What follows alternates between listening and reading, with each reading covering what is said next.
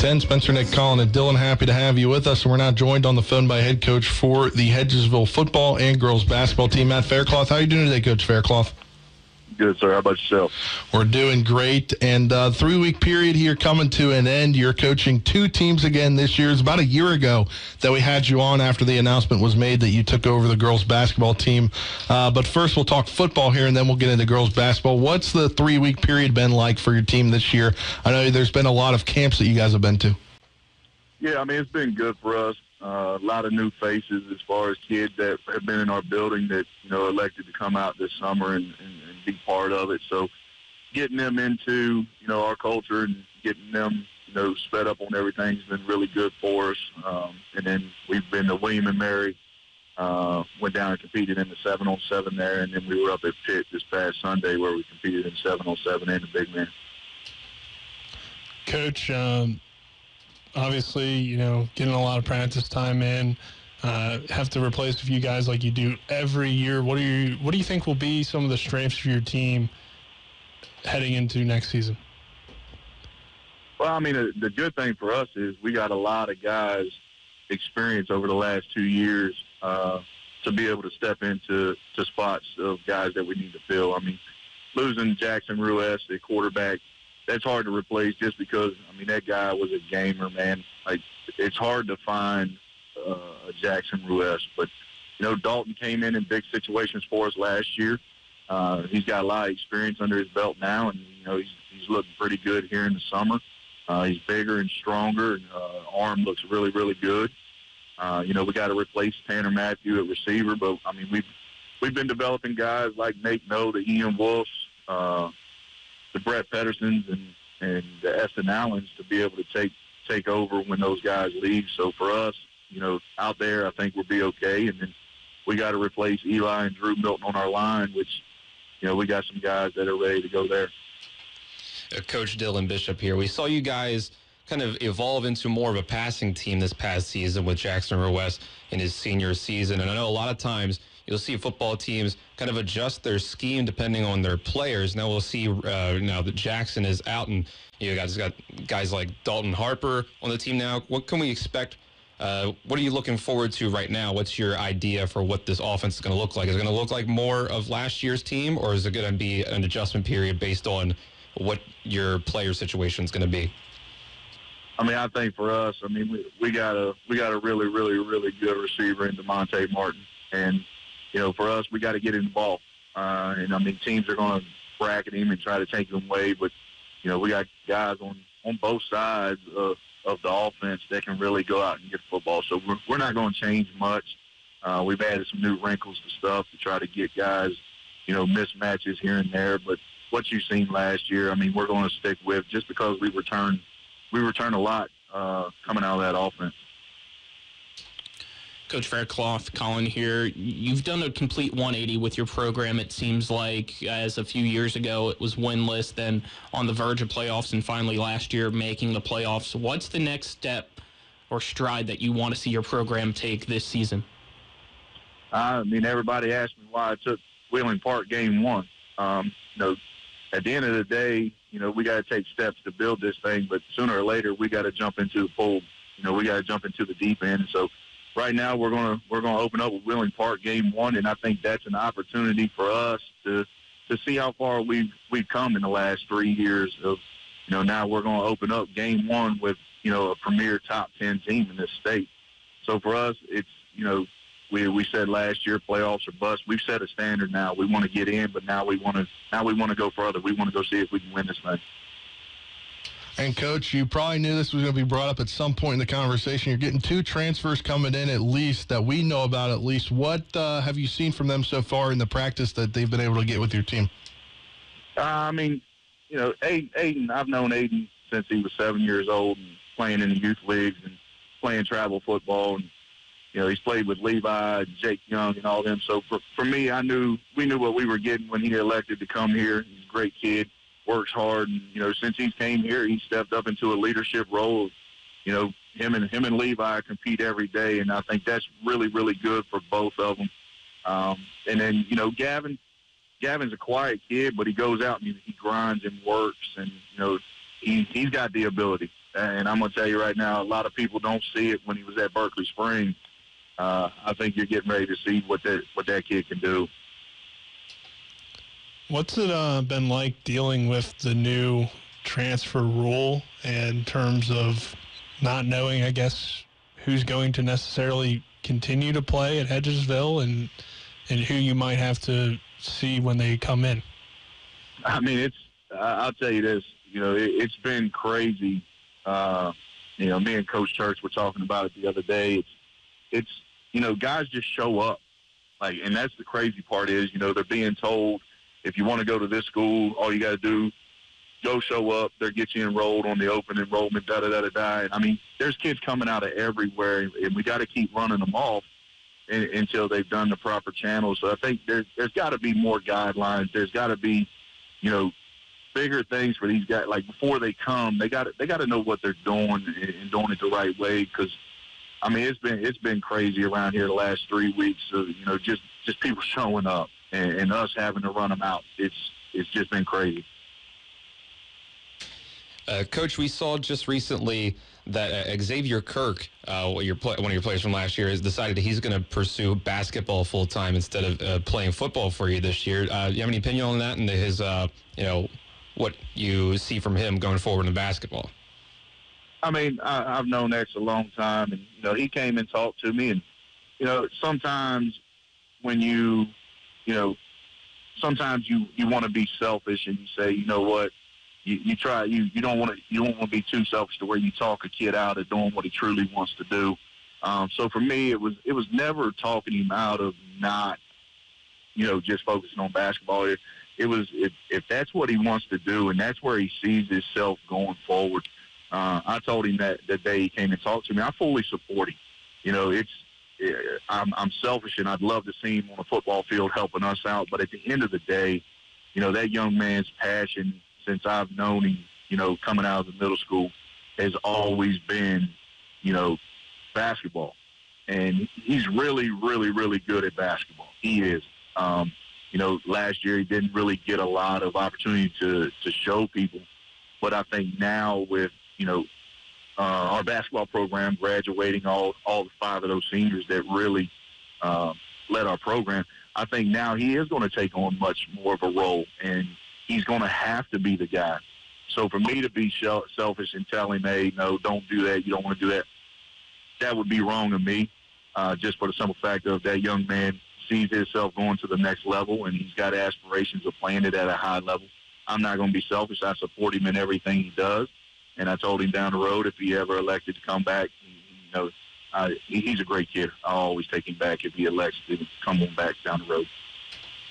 Coach Faircloth, you mentioned earlier that you guys will be starting the season off against Wheeling Park. Who are some of your other non-conference games that we'll get to see this season?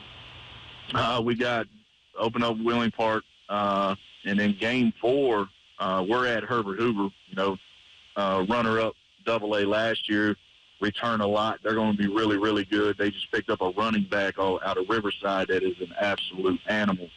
Uh, so we're we're there. Uh, we picked up Liberty out of Maryland, uh, who had a really, really good year last year. Um, and, I mean, we got Keyser, and anytime you play Keyser, it's going to be a physical knockdown, drag-out game. Uh, and then we're at Hampshire game three, and then uh, the rest we're eat back all the way through. And coach, I want to talk to you a little bit about the scheduling. I think we talked off air a few months ago during baseball season when I saw you when kind of everything had to change when it came to the football schedule with the backloading of the conference games. How did that affect kind of games that maybe you had already scheduled, or did it affect it at all? Uh, I mean, when when we elected, well, not we, when certain people elected to flip that schedule around you know, it took away what we've been doing here for a long time. It's always been us in Washington open up on a Thursday night. That was a prime time for not only our kids here, but at Washington's kids to be the, the limelight, the, the big game. And, you know, taking away that, you know, I think it, it sort of, you know, it took a lot out of what we've been doing here as far as scheduling. Uh, and then anybody that schedules high school football knows game one is the hardest one to find. And, you know, me and uh, Miss Van Dyne, we we called probably over 70 schools from all the way from Kentucky, Ohio, PA, Maryland, Virginia, North Carolina, trying to find a game one, and it just so happened that Wheeling Park uh, had somebody drop them, so we just it was a, it was just the right thing to do. Coach, wanted to go back to uh, one of your newcomers, Nathan Fleming. Uh, when the journal article came out that he was transferring, he said in there that he's going to play some running back. Is that uh, going to be a part of your offense this year? uh, I, this is what I'll tell you. You know, his his his next level is going to be as a walk down linebacker, pass rush guy. Uh, I'll tell you this: I don't think you you will see very many carries in his future here at Hedgesville High School. Now, maybe on senior night, maybe one or two, but other than that, uh, he's just going to be a defensive guy for us going down the road. And uh, coach, obviously, you have football coming up more recent and more uh, soon uh, to focus on. But after that, it's going to be basketball season once again. What can you tell us about what you're looking forward to this year for the girls basketball program at Hedgesville? I can tell you it's been exciting in the three week period. Uh, you know, we've been we've been going at it a few days a week, and you know, we got volleyball girls and softball girls and soccer girls, but so we're trying to split it up to where they can make it to all the the three week period stuff. But it's been real exciting here in the three week period. You know, we picked up, uh, you know, probably one of the better, at, best athletes in the state. And, you know, Gracie Brown's coming out to play. She's looked really good in the three week period. But the biggest thing is we return almost everybody on our roster. And that's the key for us is in order to build this thing, we got to have retention of what we have. And, you know, Olivia Cooper's back, uh, Jasmine Brown, Maggie Boyer, uh, uh, Yates. Like, there's so many girls that we return that are going to be able to give us minutes and have experience now in what we're trying to do. I think this season for us, I'll be honest with you, you know, I don't want football season to end. I can tell you that. But at the end of the day, when football season ends, it's going to be very exciting for me to move right into the winter. And any coaching staff changes along in your uh, basketball program this year, or are you sticking around with the same coaches you had last year? Uh, we we picked up uh, uh Coach Kitch. She uh, she graduated from uh, West Liberty. she just got done playing there. she played at big time powerhouse high school in Pittsburgh. Uh, she's been really good for us coming in. The girls, you know, really have uh, adapted to her, and she's really good with what we're trying to do here. And she's really, so far in a three week period, she's taken she's taken the reins on coaching and and started to really see some changes in some of these young ladies we have.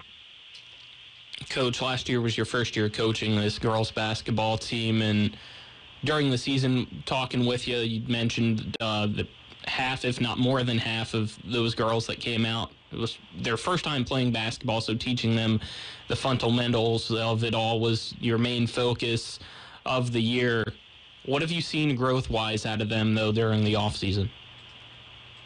Uh, I mean, you know, now we can dribble with both hands. Uh, they're dribbling with their eyes up. Uh, they're communicating. That the, the communication part was the biggest one for me. Is you know, when you when you haven't played the game of basketball and you're out here trying to to play the game with four other four other people, if you don't communicate, you're, you're not going to be successful. So for us, the communication part, um, like the other day, we did some some we did a live scrimmage here, and the biggest thing was the gym with no fans in it. It was probably the loudest we've had it. You know, it was they were talking, they were moving, they were cutting without the basketball. They were they were talking on switches. So for us, it's you know taking over a program where probably over 75% of the girls in our program, maybe even 80%, have never played basketball before. Where we were to where we are as of uh, Monday, uh, it's night and day. And I think this season will show coming up the steps that these young ladies and the hard work that these young ladies have put in. And, and I think it's going to come full fold here starting in December.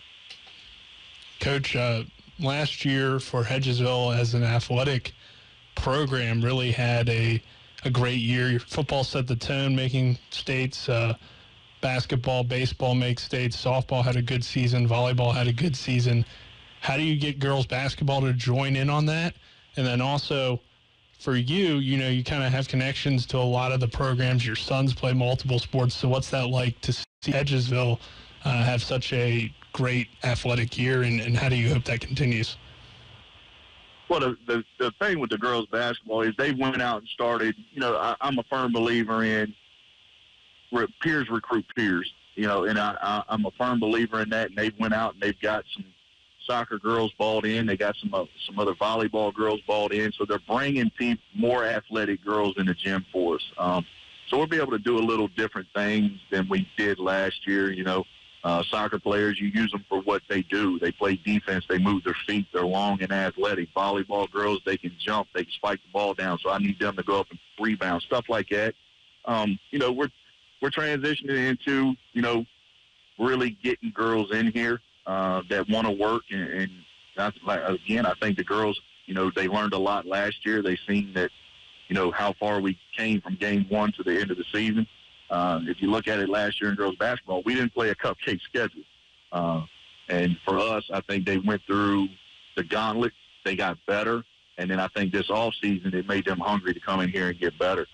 Um, but as far as athletics in the building, you know, Hedgesville, you know, you walk around and, you know, we may not be the most athletic. We may not be the biggest. But these kids out here, they grind, they work, they want to succeed. And when you can get the buy-in in the entire athletic department, the sky's the limit. And, you know, now that we're, you know, we're willing to share players and we're moving kids and, you know, we're trying to, okay, you know, Jackson's a three-sport guy. So last summer, and I think Coach Church said it the last time he was on. Jackson for three years really didn't dedicate himself to much basketball in the summer. So for me, it was a let's make this schedule out so that the Jacksons, the kids like Jackson and Demonte and them who and X who play basketball can get in the gym with basketball and, and perfect their craft. And I think that's the big thing going forward is is keeping keeping everybody on the same page and, and making sure everything works for kids so that they make sure that they maximize the potential in everything they do. Hedgesville football and girls basketball coach Matt Faircloth, our guest. Thanks for the time, Coach Faircloth, and uh, we'll talk soon. All right, I appreciate it, folks.